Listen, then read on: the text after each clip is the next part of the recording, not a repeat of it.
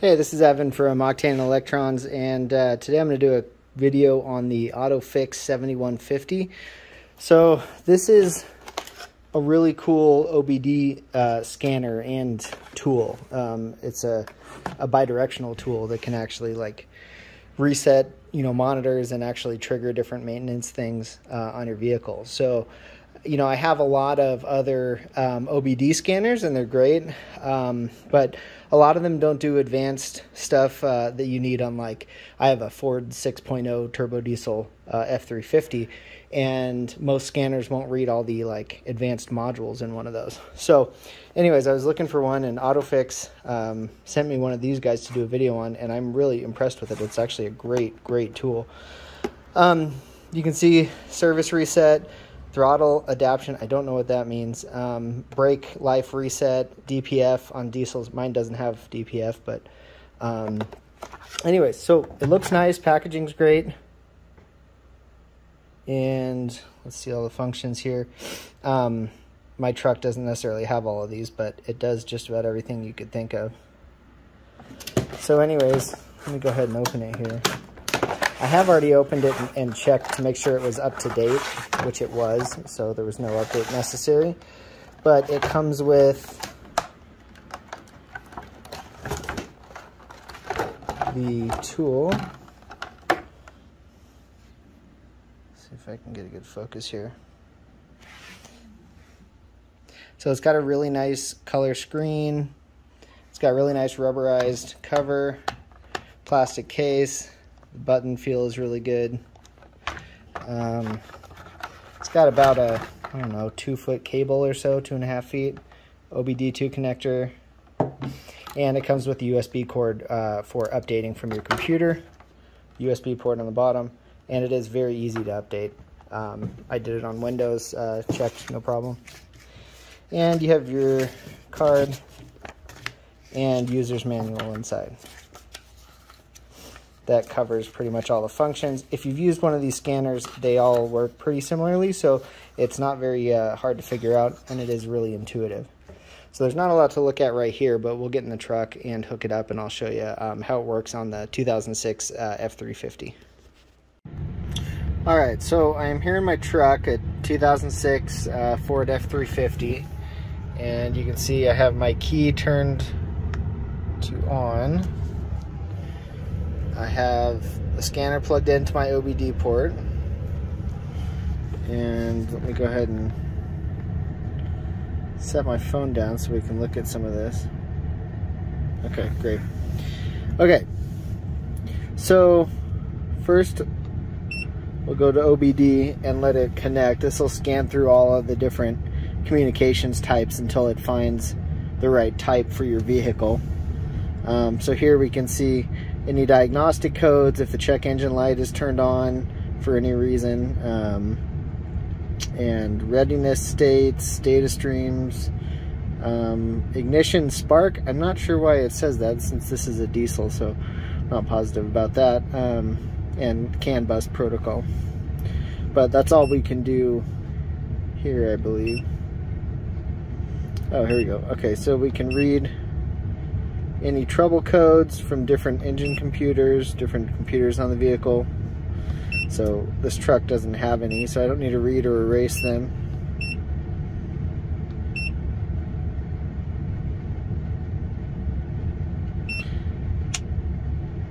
See if anything's ready or anything was triggered since the last drive.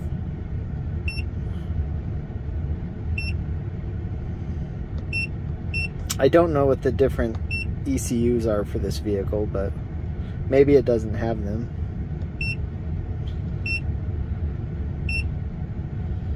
Okay, data stream. I believe we'll show you live data while the engine's running, which uh, it's not currently, but let's see what this says. Calculated load, engine temp, RPM, speed,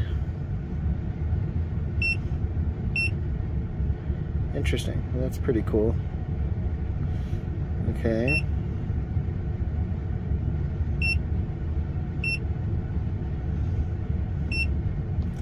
Evap test. Not supported.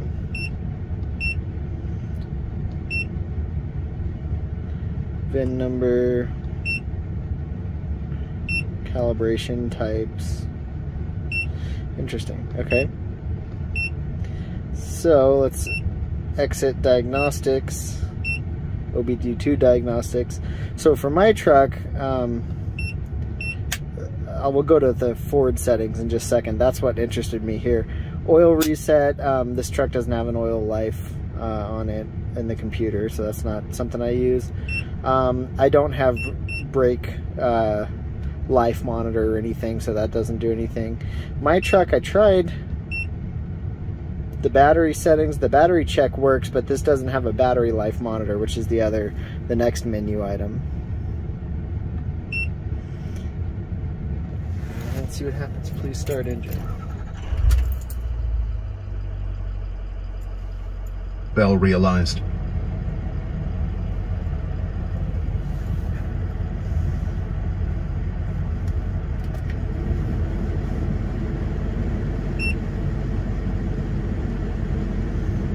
See. I assume it's checking.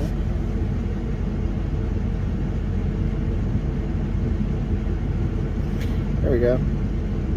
Oh, very cool. Okay, so we get our charging voltage and it'll show a chart as well. That's pretty useful.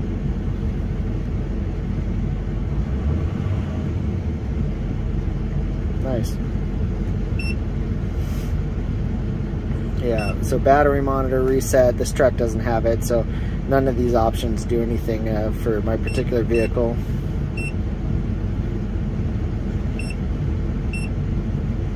And I didn't have to change anything in this the setup. Okay, so other than um, all these resets are really useful if your vehicle supports them. Mine doesn't, so I can't really show you. The OBD settings um, or OBD functions are great, but that's pretty typical to any scanner. I have lots of other cheaper scanners that do just standard OBD2 functions. So that's great, um, but not the main feature of this for me. This was what was really cool is with it, um, I, I assume since this model is specific to Fords, this is always here. Maybe it knows from the VIN number and this populates, I'm not positive, but it certainly shows for my truck. Um, so I say for Ford, and we're going to look at the Ford specific things. You can set the vehicle type manually, but I found the Identify works great. It'll communicate, it says what model year, maybe uh, the VIN number doesn't identify it enough, I'm not sure, but it's a 2006. So that's confirmed. It's the six liter turbo fuel injection 2006. Okay. Okay, so this was really cool. System scan. And it goes through and detects all of the Ford specific uh, computer modules on the truck. And this is what's awesome because most standard typical OBD scanners don't do this and they can't communicate with all of these things. The parking aid, which is the sensor, the parking sensors, powertrain control module, uh, restraint module, trailer brake controller, instrument cluster. Like this is this is awesome that this thing can talk to all of these things. Transmission control module. So I'm not going to do it here, but.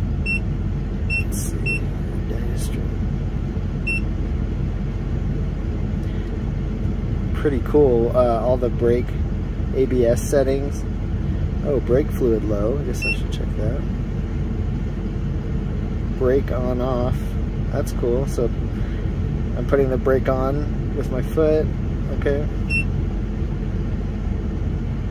Nice. Okay, that's interesting. And I don't think I have any fault codes. Yeah, I don't have any lights on or anything, so I'm not expecting it.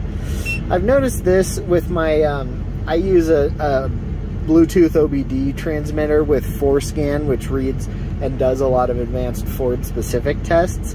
And I've noticed, so like I said, I don't have a check engine light, I don't have any error codes, but I have noticed with FORScan that I get um, some flags on the GEM gener generic electronic module and the instrument cluster, but nothing seems to be wrong, and I'm not honestly sure why that is. So if I I launched this, I looked at this earlier. So I've read about this code and I'm not totally sure I understand it. It's something to do with having the key in the ignition throws this code as a fault code, even though I don't think it is a fault. Um, low battery voltage, which we saw earlier, it's not, so I'm not sure. These might be like really old code, codes that are stored in, um, I'm not really sure. And I've seen this before on my other scanner, um, the four-wheel drive fault, transfer case fault. But none of these are seem to be active, and the um, there's certainly no light and the four-wheel drive worked perfectly so I'm not really sure I wonder where these are from or how old they are I haven't found any way to like see when they were set so honestly I'm not really worried about them but let's see if we can erase them here I have the truck running I hope that's okay we'll see erase fault codes had success wait 10 seconds turn ignition off and on again read fault codes to verify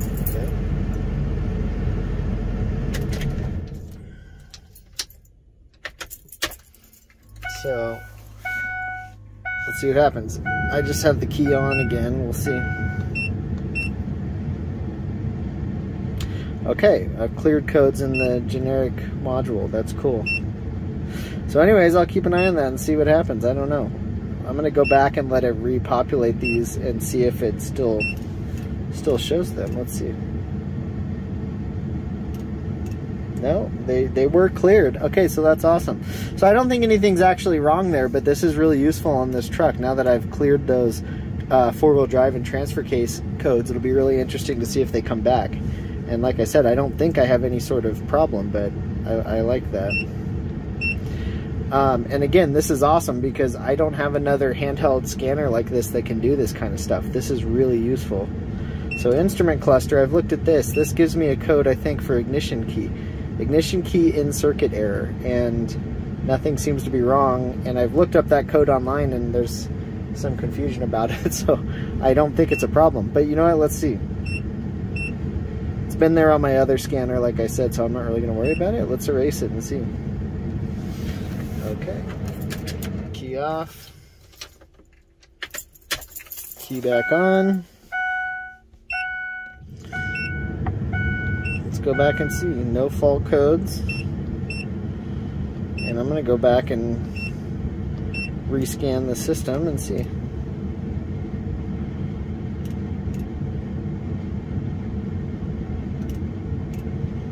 Okay. That's awesome. I love it. So those are cleared and I'm gonna check them again in another day or two and see if they come back. Again I think they might be really old and just I have not had a scanner that could reset them so I'm glad they're here for this video to show. So really cool. Let's see what data stream says so this is what the trailer brake controller sees that's really cool look that's brake pressure as I put the pedal down. Let's see when I move the um, brake controller gain switch. Oh, that doesn't do anything right here. Huh. Really interesting. So anyways, this truck's in great shape and doesn't really have problems. I don't have a lot to troubleshoot here, or really anything, um, other than those codes that we're already showing. But man, if you have like some specific codes showing for your individual modules on a Ford truck, this it doesn't get any better in a handheld unit. This is awesome to be able to read all this stuff.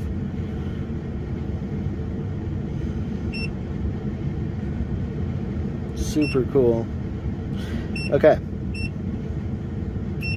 So, like I said, this is really worth it for the Ford specific functions. So we can select individual uh, modules manually to diagnose them. That's really cool. Okay. So scan will check them and see if there is any codes and then let you look at them further. It'll warn you if there's anything wrong or tell you they're okay. Manual lets you select any of the computers on the vehicle and then uh, look at them individually. So special functions, this was really cool. I don't need to do it here, but Um, like on my old Duramax, I needed something like this to try and bleed the ABS pump. This is really cool to do bidirectional controls and be able to bleed the ABS pump this way. Clear transmission, adaptive tables.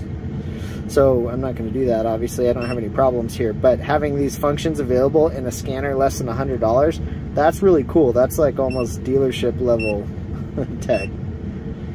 So anyways, yeah, sorry I can't show you these other functions. This truck just doesn't have it, but um, I hope this this helps. If you have uh, a Ford truck with all these modules, this is the way to go. For less than 100 bucks, this is an amazing scanner that lets you do these things. Read all the individual modules and trigger um, the service tests and stuff. It's really cool.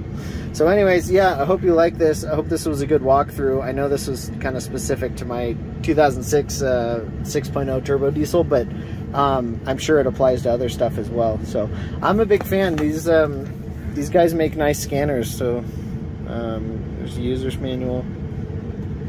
Yeah, I'm a big fan. Autophix 7150 is pretty awesome for Ford, so I would highly recommend it. Uh, yeah, thanks for watching.